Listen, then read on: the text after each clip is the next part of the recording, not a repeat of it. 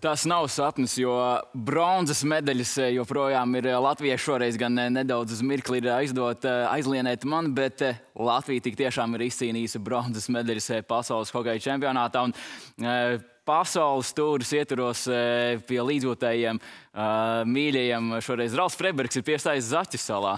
Labs rīts, Ralf! Labrīt! Nu, kāda ir šī pasaules tūra, pasakoties un arī saņemot labu vēlējumus no līdzotējiem? Cik varbūt ir patīkami nogurdinošs šis brīdis vispār bijis? Uh, nogurdinoši tas nekad nav bijis. Mums ir uh, tāds uzdevums, ne uzdevums, bet paši gribam cilvēkiem pēc iespējas vairāk iedot pataustīt to medaļu un uh, sajust tās emocijas, ko mēs sajūtām, saņemot to atbalstu no Latvijas.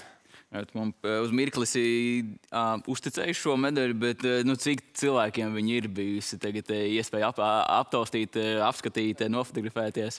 Nu, man personīgi, man liekas, kādi ap 4000 ir pie, pieskārušies. Es teiktu, kādi 20, 30 kodieni ir jau. 20, bet nu, viņi ir, ir pārcietuši. Es nezinu, vai tik daudz, cik jūs esat sevi uzņēmuši, bet nu, pati medaļa jā, var, var, var tūplānā parādīt. Nu, Viņi ir, viņi ir pacietuši daudz. Es domāju, tur arī pašai medaļai varētu būt gan daudz eh, stāstu, ko, ko pateikt. Nu, nekas traks, bet uh, jā, es pats vakar novēroju, ka ir diezgan pabrūžāta medaļa. Bet, tas, zobu kodiena arī ir. Jā. arī zobu kodienu tur aizmugurē var redzēt, un, bet tas ir tas skaistums. Un ļaut cilvēkiem iespēju sajust, iekosties un uh, izbaudīt to medaļu. Šī ir tā vēsturiskā fotografija, kas uh, ies. Um, vēstures anālēs, bet uh, viens īpašs uh, cilvēks varētu būt, es domāju, visvairāk priecīgāks uh, par šo fotografiju. Varbūt var parādīt kādam, kurš nav pamanījis, par ko mēs te runājam. Jā, man treneris asistents teica, ka viņam ir super bilde ar komandu beigās. Viņš jau, jau Somu presi viņam rakstīja un teica, ka viņam ir izdevusies bilde. Un, un treneris atrada Somu šeit, bilde, kā redzam augšā. Jā, nu, man liekas, varbūt nav pats augamā ražinākais, bet nu, tomēr viņa pienesums vismaz kā runā tieši ar aizsargiem darbā bija vismaz jūtams. Kā, kā tu raksturo viņa tieši pienesumu? Ļoti, mēs bijām ļoti priecīgi aizsargi, kad mums bija rast iespēja strādāt ar šādu speciālistu. Viņš bija tiešām, viņš saprata mūs, jo viņš ir bijušais augsts klases aizsargs. Un, Viņš ļāva mums izvērsties. Nekad uh, nekomentēja liekas komentārus, dažreiz, kas ir par daudz, un, un, un nemācījās spēlēt. Viņš bija liels malacis mums tādā ziņā, ka viņš deva mums atbalstu, muguru pie katrām kļūdām. Viņš tikai uzslavēja. Un, uh, mēs redzējām, ka aizsargs šogad bija ļoti labi savā līmenī. Jā, par sportisko pusi mēs vēl parunāsim, bet nedēļa pagājusi. Jūs esat bijuši dažādās vizītēs, bet es pieļauju, ka viens no tādiem būtiskākajiem un varbūt pašam visnozīmīgākais pasākums tomēr vakardiena Omai 80 gadu jubileja. Tikai vēlreiz sveicienu Omai no visas rīta panorāmas. Kādas bija sajūtas beidzot aizbraukt pie Omas eh, pēc visu šī? Nu, tā bija arī pirmā reize, kad viņu satiku šoreiz. Ehm, jā, es gribēju apsveikt Omai Mājai 80 gadu jubilejā. Viņa mums ir liels cīnītājs, un uh, viņa jau vienreiz uzvarēja cīņu ar vēzi, un tagad turpina uzvarēt nākošo cīņu. Tā kā liels malāts.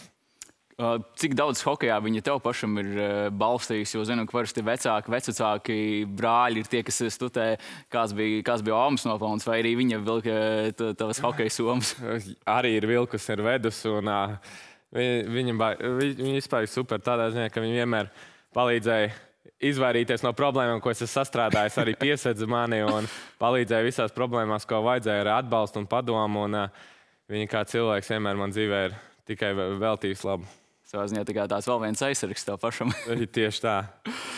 Paskatīsimies uz čempionātu. Arī vienu no taviem zīmīgākajiem brīžiem, lai arī cik tas daudziem varbūt nebūtu pārsteigums, bet šogad tev bija pirmie vārti Latvijas izlasē tieši pasaules čempionātā, lai gan nav pirmais čempionāts tev. Tieši tā, nu, nav jau meistarība iemest tā ranga zemākām komandām, kā iepriekšējos čempionātos, piemēram. Un es taupīju, zināju, ka būs svarīgs gols svarīgā spēlē, un es taupīju speciāli nemetu vārdus iekšā.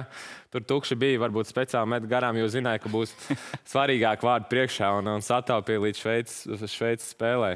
Pat porziņš novērtēja to vārdu gomu, bet tik precīzi devītniekā tur vēl gan nācās šveiciešiem skatīties video atkārtojām, bet nu, viss bija korekti, vārti tika ieskaitīti. Un tas ievadīja savā ziņā, protams, Čehijas spēlē jau bija tas, kas pavērsiem punkts, bet nu, pret Šveici tur punkti bija nepieciešami kā es pilnībā. Tieši tā, runāju par šo golu. Liela pateicība jāsaka Rihardam Bukārtam un Danam Ločmelim, kurš, kuri ļāva šim go, golam tikt ieskaitītam, jo viņi izdarīja vienkārši fenomenālu darbu vārdu priekšā un arī viņa augstāk piesaistot vārdu redzamību. Un, kā, paldies viņiem, ka tāds gols notikās. Bet, jā, nu, sākām ar čeku spēli un mums, mums gāja uz priekšu. Tas plāns A mums pret uzvarēt Slovākiju neizdevās, bet plāns B bija uzvarēt katru nākamo spēli, un tas mums izdevās. Un solīt pa solītim mēs pierādījām. Vai šī ir tā vēsturiskā noera, kur arī šos vārdus esi guvis? Šī ir viena no tām, ja, man, bet man liekas, ka nav īstā, īstā šito jau uz, uh, pirms spēles ar Šveicīs samainīja jaunu nūju, tieši nogriezis sataisienu, varbūt tādēļ, ka vajadzēja, vajadzēja spēlēt ar jaunu, jo es jau biju kāds divas, trīs nedēļas trenējies, spēlējis ar šo nūju, bet uh, šī ir cita vēsturiskā nūja. Jā, bet tad vari pastāstīt, jo skatos, viņi ir vairākiem parakstiem, bet es pieļauju, ka tie nav no amerikāņiem vai kanādiešiem savākt paraksti. Nē, šī ir tā slavenā Twitter nūja, kuras ierakstīja Twitterī lai, kur mainīja nūju pret divām biļetēm dziesmu svētkiem. Nu, izdevās arī te, gūt atbalstu šai akcijai un uh, iemainīt nūju ar parakstiem. Man jau arī cilvēki pieteicās, un uh, paldies viņiem. Bija ļoti la, laba, liela atsaucība, bet uh, par laimi arī dziesmu organizatori mums pienā, komandai piedāvāja biļetes uz, uz, uz dziesmu koncertu. Tā kā, kā dubultā tev? no, jā, bet nav tik daudz nūjas, ko samainīt. Jo, uh, Man bija div, divas tikai kopā. Viena iet dziesmu svētkiem, un otra savai personīgai kolekcijai. Kā, diemžēl būs jāatsaka tiem cilvēkiem, kuriem es varbūt pieteicās rindā. Jā. Bet var pastāstīt par šo eh, par nojas ieloku. Viņai ir īpašs stāsts, un tas ir saistīts ar Kārlis Krastiņu, kur to bija, kad spēlēja vēl junioros uh, Teksasā, Amerikā Izstāst, kas ir tas stāsts? Nu, stāsts tāds, ka es iepriekš spēlēju vienmēr ar citu ieloku, bija viņa lielāka un bija viņa izliektāka, bet tā, kad es biju Teksasā un es tur spēlēju junioru hokeju, par laimi man blakām halē treniņa hala bija Dallas Stars komandai, kur Kārls trenējās. Un mēs sapazināmies ar Kārlu un Kārļa ģimeni. Un, un, un es viņiem lūdzu, varbūt viņš var dot, sniegt savus nūjas man spēlēšanai, jo tomēr ekipējums ir dārgs hokeja un pirkt savus nūjas arī dārgi. Uh, Un tā mēs vienu sezonu, kā ārsts paklusā, vienmēr atnesa kādas 3-4 nūjas, ja man bija salūzuši un, uh, ar savu ieloku. Tā es pie viņa pieradu un turpinu spēlēt līdz šai baldienai. Savā ziņā kārļa, kārļa gan šīs nūjas, gan arī ieloks, gan arī kaut kādas noteikti arī padoms, arī kaut kādā mērā arī to tavu tālāko karjeru ir uh, formējis un veidojis. Arī viņš parādīja, varbūt runājot ne tik daudz par hokeju, bet īstenībā savu piemēru, atrodoties viņa mājā, kas tika uzaicināts, cik viņš ir liels profesionāls. Jā seko savai rutīnai un, un, un visu dara, visu pakārto savai dzīvei tieši priekš hokeja, un, un, un to es arī no viņa mācījos. Varam paskatīties uz nākamo fotografiju, kas ir, manuprāt, tev kā aizsargam ļoti lieliska sadarbība bijusi. Artūrs Šilos, Latvijas mūrs, protams, humors, ne humors, bet nu, ļoti pārliecinoši viņš nostāvēja, nosargāja arī vārds vairākās epizodēs, laikam vārdsargiem nepatīk viņu, viņu darbu nosauc, ka viņi nostāvēja. Artūrs šogad šajā turnīrā vienkārši fenomenāls. Jo reāli. Varam uzlikt īstu Artūru bildi. jā, reāli viņš mums Nu, kad tev ir vārdsargs, stabils vārdsargs aiz muguras, tas tev dod pārliecību, ka vairāk var, vairāk var noriskēt, vairāk var kaut kur riskēt, jo zini, ka tev vienmēr tev aiz muguras ir čāls, kas tev izglābs. Ja? Un, uh, viņš tāds kluss liekas. Vismaz man pašam, atrodoties pie laukuma apmales, neradās sajūta, ka viņš vispār pat runā.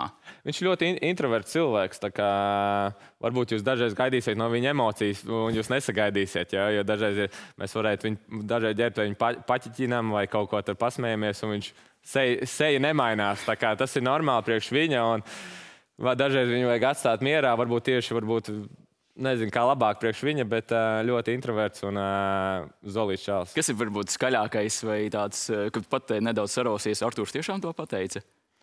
Uh, īstenībā tā viņš, viņš nekļūdās. viņš uh, lie, liekas vārdus nesaka. Viņš dara savu darbu un uh, vispārīgi malacis ir.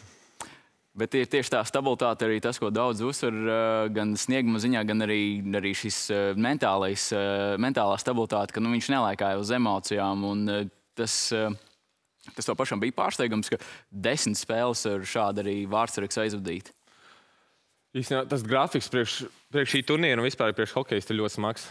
Es vēl nebiju pieredzējis tādu turnīru, varbūt jaunībā tur kaut kādos bērnu turnīros piedalījies, bet uh, desmit spēles tur 16 dienās sanāca, jā, lai viņš vairāk. Uh, ļoti smagi. Un, un parādīt īpaši vārdsargam, kurš spēlē katru spēli 60 minūtes, ir ļoti grūti un uzturēt sevi kondīcijā, gan fiziski, gan emocionāli. Tas ir jāmāk, un viņš ir gatavs tam. Un es domāju, viņš pierādīja šo turnīru, ka viņš mierīgi NHL var spēlēt, jo tur ir 82 spēles. Un, un, un, un viņš fiziski tam gatavs un mentāli. Un viņš pierādīja visai pasaulē, ka viņš ir NHL klases vīrs.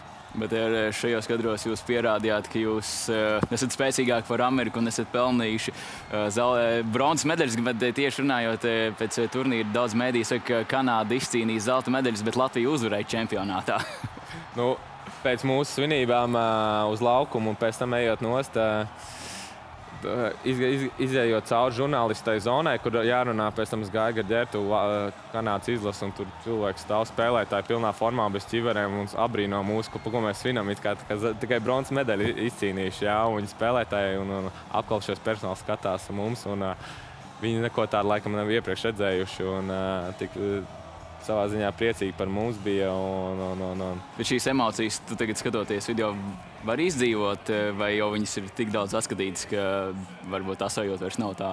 Es varu, es, es varu vienu pateikt, ka es spēles, parasti man patīk atskatīties uz spēlēm iepriekšējām nu, dienu pēc. Es arī čempionāta laikā pastos savu spēli. Un, Bet atkārtojumu spēlē es tikai redzēju, man liekas, ceturtdienā man bija pirmais laiks, kad es apskatījos to spēli. Gan arī nedēļa pēc bronzas. Nedēļa, gan arī pēc bronzas, ka man pietika laiks apstīties un emocijas un izbaudīt to, kas laukuma.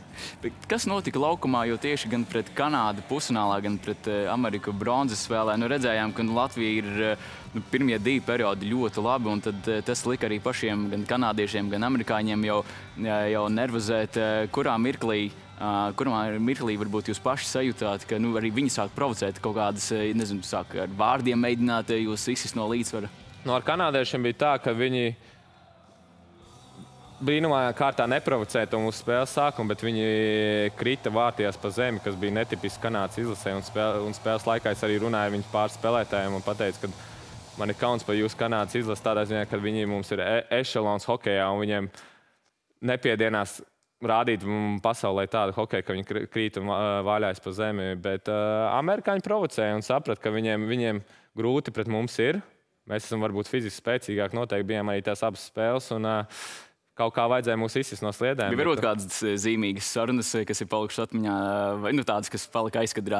Nu, man es kaut kā, es nepazinu Kanādas uh, spēlētāju Blais. Uh, kaut kā pirmajā spēlē iepazinos ar viņu, vairāk sākām, uh, sākumā negatīvi iepazināmies viens otram teicām vārdu spēles garumā, bet be, be, beigās mēs tur pēc tam, pēc spēles ģērbtuves sadraudzējāmies. Varbūt ejot garām, pasveicinājāmies, smējāmies, bet arī uz laukuma tajā fināla spēlē ir tāds attiecības. Mēs bieži runājam uz laukumu, gan labu, gan, gan sliktu. Bet, jā, nu, vienīgais bija pārsteigts par tām divām izlasēm, kad runājot kaut ko negatīvu, kā vienmēr hokeja notiek spēles laikā.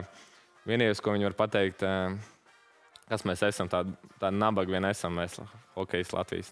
Bet Latvija pierādīja pretējo un e, ar vēsturisku turnīru pabeidz arī šo. Tas mums deva motivēja arī dzirdēt tādus vārdus, kas tas vienīgais, ko mums var pārmest. Nevis par spēles lidojumam, spēle, pa spēles, kā mēs spēlējam, arī par manu lidojumu, piemēram, ja? bet par naudas ziņā tā kā motivē mūs ļoti.